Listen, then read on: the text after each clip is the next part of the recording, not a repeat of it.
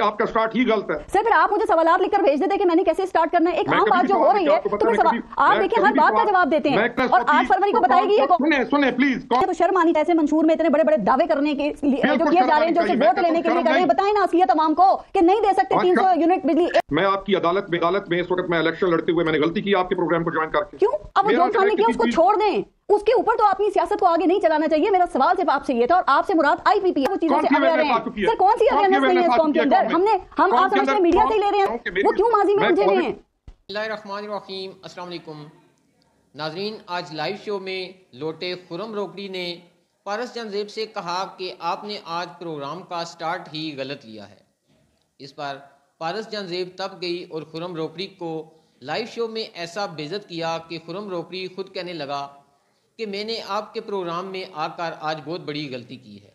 आए पहले खुरम रोकड़ी और पारस जानजेब की गुफ्तु सुनते हैं, फिर इस पर तफसील से बात करते हैं।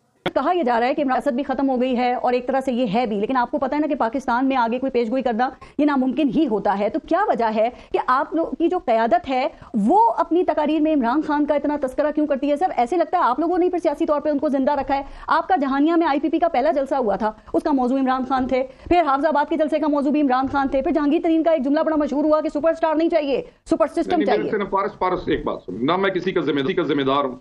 न मैं किसी का कोई ठेकेदार हूँ और न मैं मैं तमाम इन पार्टीज़ के इन बयानियों से आजिज हूँ जिसमें कौम को तकसीम करके एक ऐसी क्रिएट किया जाए फिजा कि मुल्क पीछे चला जाए और किसी को यही समझ ना लगे कि हमने पॉलिटिक्स में आके असल करना क्या। सर ये आपकी क्यादत कर रही है। ये आईपीपी की क्यादत कर रही है। कल अठारह 18 लोग पीटीआई के बल आप उनको बुला, आप उनको आप उनको बुलाएँ और डायरेक्ट उनसे क्वेश्चन करें। मेरे से सर आप तर्जुमान है ना? रोखड़ी साहब तर्जुमान से ही बात हो सकती है मैं मैं एक पॉलिटिकल आदमी हूँ। मैं किसी फौज का या किसी वर्दी के इदारे का या मैं किसी पुलिस का तर्जुमान नहीं हूँ। और सियासी जमात के भी नहीं है। मैं एक पॉलिटिकल आदमी हूँ और मैं पॉलिटिक्स के अंदर फ्रीडम ऑफ़ स्पीच का कायल हूँ। मैं पॉलिटिकल मैं एक सियासी आदमी से उनकी पा, उनकी पार्टी की पॉलिसी के ऊपर बात कर रही हूँ जो आजकल आप इंतजामी मुहिम में तकरीर का बयान कर रहे हैं। एक आदमी की सियासत खत्म खत्म होगी उसका तस्करा खत्म करें। आप चीज़ को गलत तरफ़ गलत तरफ़ लेके जा रही हैं। यू कैन आस्क हिम जिसने बात की जो बात करता है you should ask him personally question करें। ओके आप इस बात से एग्री करते हैं सर जो जहांगीर चीज़? या अलीम खान अपनी इंतखाबी मुहिम में तकारीर कर रहे हैं आप उनसे एग्री करते हैं? पूछ मैं उनसे लूँगी कौन सी तक, किस तकरीर? जो वो इमरान खान का ज़िक्र कर रहे हैं जो वो किस तकरीर का? सर कौन? आज भी अलीम खान ने इमरान खान के हवाले से बहुत सारी बातें की उन्होंने ज्यादतियाँ कर दी उन्होंने ये कर दिया वो कर दिया। आगे बढ़े ना। मुझे मुझे मुझे आपकी मैं आपकी अदालत में अदालत में इस वक्त मैं इलेक्शन लड़ते हुए मैंने गलती की आपके प्रोग्राम को ज्वाइन करके। क्यों? आपकी मैं अदालत के अंदर पेश हो जाऊँ कि फलाना क्या कर रहा है फलाना क्या कर रहा है सर हमें। देखें ये टॉक शो है हम आपसे बात कर रहे हैं आप सियासी आदमी हैं आपसे बात नहीं होगी तो किससे बात होगी? किस चीज़ की बात? वही आपने स्टार्ट किया कि आपने उसको आउट कर दिया।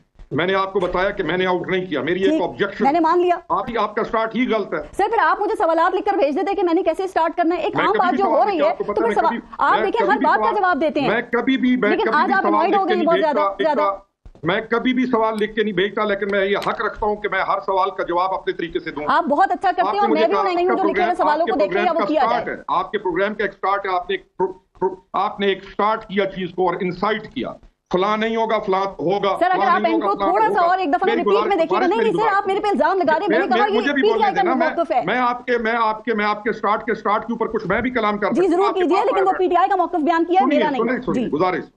फला होगा फलागा फला नहीं होगा मेरे लिए मुल्क अहम है ज़बरदस्त। आप क्यों नहीं बताते कि किसका क्या जुर्म है किसने क्या काम किया? फला होगा फला नहीं होगा ये नहीं होगा तो वो नहीं होगा क्या नहीं होगा?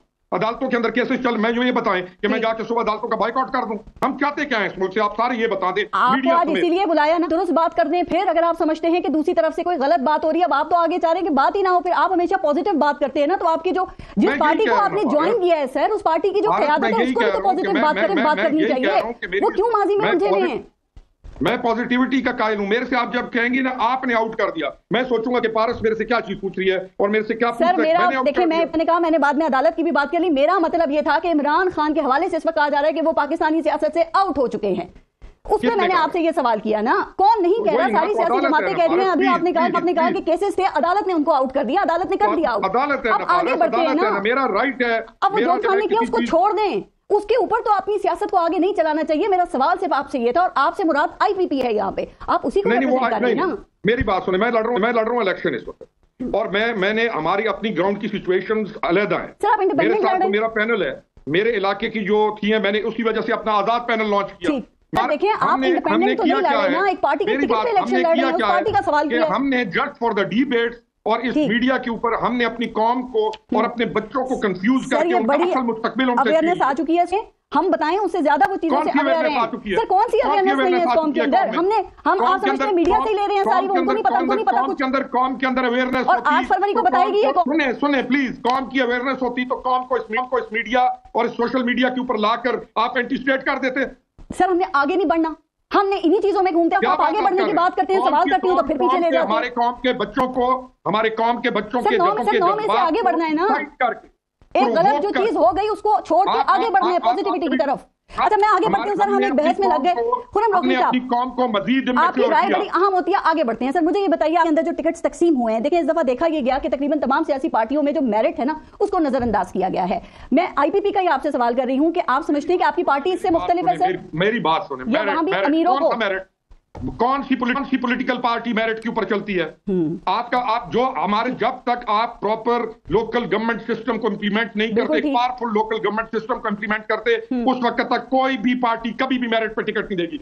मेरिट आपका पैसा है। मैं- मुल्क का पैसा मेरिट है। ये बिल्कुल सर सही बात आपने की है। और मैं इसी हवाले से जो पार्टी आपने ज्वाइन की सर मैं उसी पार्टी का देखिए आप किसी पार्टी को रिप्रेजेंट कर रहे हैं ना तो पार्टी का मौकफ भी तो देना है तो उसी पार्टी के हवाले से पूछ रही हूँ। पहले मैंने आपके आपके प्रोग्राम से पहले आपके कोऑर्डिनेटर को कुछ पॉइंट्स बताए थे अपने बारे में।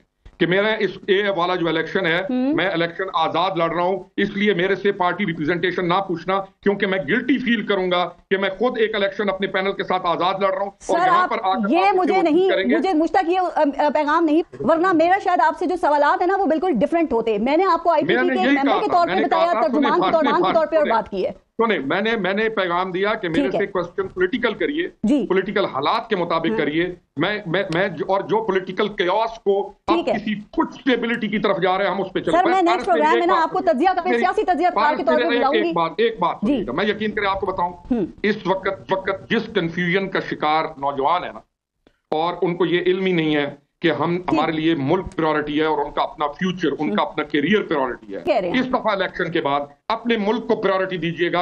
आप इस तरफ़ स्टीयर करें तो कमाल का प्रोग्राम सर आप ठीक कह रहे हैं तो शर्म आनी ऐसे मंशूर में इतने बड़े बड़े दावे करने के लिए जो किए जा रहे हैं जो वोट लेने के लिए कर रहे हैं बताएँ ना असलियत तमाम को कि नहीं दे सकते तीन सौ यूनिट बिजली एक बिल्कुल आनी चाहिए अगर शर्म हो शर्म हो तो। सर आप इस बात को मानते हैं ना कि एक कॉर्पोरेट कंपनी एक कॉर्पोरेट या फिर एक मीडिया हाउस चलाने में और एक मुल्क को चलाने में बहुत फ़र्क होता है। याद है यही तो बात हम इमरान खान के लिए करते थे कि ग्यारह खिलाड़ियों की टीम के साथ मैच खेलना हो रहा है और मुल्क चलाना हो रहा है। के अंदर मैं अपने पॉलिटिकल कैरियर के अंदर इसी चीज़ को पीट रहा हूँ कि ये प्राइवेट कंपनीज़ नहीं है। बिल्कुल ठीक। ये ये फैक्ट्रीज नहीं है ये पारस जानजेब और खुरम रोकड़ी की गुफ्तगु सुनी पारस जानजेब ने कहा कि आपकी पार्टी अभी तक इमरान खान का ज़िक्र करती है।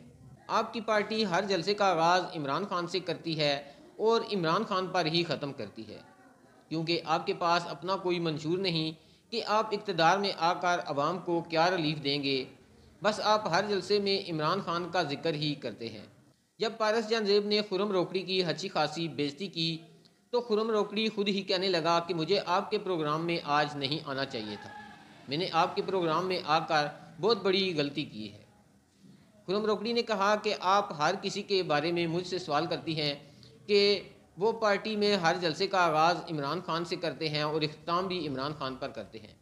मैं एक सियासी वर्कर हूँ, मैं कोई ठेकेदार नहीं कि हर किसी के बारे में मुझे पता हो। जो बात करता है, आप उससे जाकर बात करें और उससे पूछें। मुझसे आपने बात करनी है तो मुझसे सियासी सवालात करें। खुरम रोकड़ी ने पारस जानजेब से कहा कि आपने प्रोग्राम का स्टार्ट ही गलत लिया है। इस पर पारस जानजेब भी तब गई और पारस जानजेब ने खुरम रोकड़ी की अच्छी खासी बेजती की और कहा कि मैं क्या अपने प्रोग्राम का स्टार्ट आपसे पूछ कर करूँगी और आपके बताए हुए सवाल आपसे करूँगी? नाजरीन, आपने इन दोनों की गुफ्तगु सुनी, आपको इन दोनों की फ़ाइट से क्या सबक मिला? आप अपनी राय से हमें ज़रूर आगाह करें। नेक्स्ट वीडियो तक मुझे दें इजाज़त। अल्लाह हाफिज़।